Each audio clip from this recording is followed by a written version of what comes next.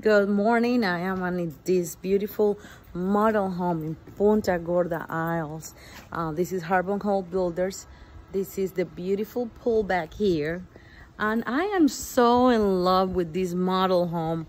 Um, I just love it. Uh, the view is amazing. The house is beautiful in itself. And if you have any questions about the new build in this area, let me know. I'm here to help. Have a great day.